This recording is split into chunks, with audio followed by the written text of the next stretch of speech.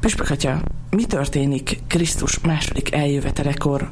Ha megszűnik ez a világ, amiben most élünk, akkor mi lesz a Földdel, mi lesz az itt maradt dolgokkal? Nagyon nagy örömmel, nagy szeretettel köszöntöm én is a kedves hallgatókat. A Biblia arra tanít, hogy Isten új eget és új földet teremt, vagyis valami fajta beteljesedése lesz az egész teremtett világnak. Az Isten nem egy desztillált, csak szellemi mennyországot készít, készít az embernek, hanem minden, ami számunkra értékes. Az édesanyánk símogatása, a napfölkelték, a nyíló virágok, amik részei az ember létünknek, valamilyen módon ezek is beteljesednek. Egy másik helyen azt olvassuk a Bibliában, hogy Isten az élet barátja, semmit sem utál abból, amit alkotott. Isten végtelen szeretettel alkotta, alkotta a csillagokat, az eget, a földet, a madarakat, a fákat. Minden dolog az Úristen dicséri. És minden dolognak lesz valami fajta beteljesedése. Ahogyan az ember itt a Földön is a teste által tud kommunikálni. A gondolatainkat a másiknak úgy tudjuk átadni, hogy a hangszálaink megremegtetik a levegőt, a másik füléig eljut, valamilyen módon kell odaát is ez az anyagi testi lét az embernek, ahhoz, hogy kapcsolatba tudjon lépni majd a másik emberi személyekkel. Hogy pontosan ez hogyan történik, ezt nem nagyon ö, adta tudtunkra a kinyilatkoztatás, és nem is szükséges, hogy tudjuk. Voltak olyan egyházatják, amelyek próbálták, akik próbálták egy kicsit ezt úgy kitalálni.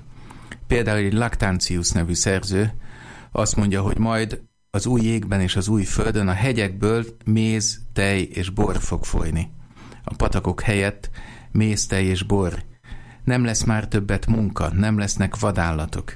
A birkák színesek lesznek, nem csak feketék és fehérek. Mindenki 30 éves lesz az ereje teljében. Aki kicsi magzatként halt meg, az is 30 évesként támad föl. Nem lesznek az emberek között bőrszín különbségek, ahogy itt a földi világban ez annyi nehézséget okoz.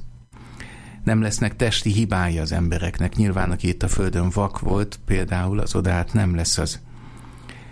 Mások azt írták, hogy az szellemi testünknek, a mennyei testünknek a tulajdonságai a ragyogás, a finomság, a gyorsaság és a szenvedhetetlenség. Nem tudjuk elképzelni ezt a másik világot. A Biblia csak annyit mond, hogy szellemi testben támadunk föl. a már itt a Földön a testünknek a folyamatosságát nem a sejtek adják meg. A testünk anyaga körülbelül 7 évente teljesen kicserélődik. A szellemi részünk adja meg az azonosságunkat. A DNS a sejtjeinkben az emlékeink, a szellemünk tesznek minket azonossá. Valahogy ehhez hasonlóan beszél a Biblia szellemi testről, egy folytatásról a földi létünk után. A második vatikáni zsinat azt mondja, hogy a szeretet és a művei megmaradnak. Vagyis mindaz a szép és jó, amit az ember alkotott művészetben, egymás iránti szeretetben, segítésben, ennek mind lesz beteljesedése. Azonban ennek a pontos módját és idejét nem tudjuk. Jézus újra és újra ezt hangsúlyozta, hogy azt a napot, azt az órát nem tudja senki. Még az angyalok sem, még a fiú sem, csak az atya. Másút azt mondja, hogy nem tartozik rátok, hogy ismerjétek az időpontokat és a körülményeket. Ezeket az atya határozta meg. A Nemzetközi Teológiai Bizottságnak egy dokumentum 1979-ben azt mondja, hogy az eljövendő világot elképzelni nem tudjuk, és nem is kell erre törekednünk. A mostani világ és az eljövendő között van folyamatosság, van, ami folytatódik, de van benne törés is, van benne egy gyökeres különbség, ahogy látjuk ezt a föltámad Krisztus testében, amely egy teljesen új valóság. Nem az arcáról ismerik meg, hanem egy mozdulatáról, egy szaváról. Arra tanít minket a Biblia, hogy a halál kapuján át az ember elereszti azt, ami múlandó, ebből a világból, mint egy hordozó rakétát ele, elereszti a testét, és átlép az Isten világába. Ő a kezdet és a vég, az alfa és az omega. És ennek a beteljesedésnek valami fajta testi valósága lesz. Az ember lényege szerint társas lény és történelmi lény. Kell tehát, hogy valami közege legyen ennek a kommunikációnak egymással. Erre a beteljesedésre vágyik bizonyos értelemben Krisztus maga, aki mondja, hogy majd az újat, az új bort issza az Isten országában. Az egész teremtett világ sóhajtozik és vajúdik, várja Isten fiainak megnyilvánulását.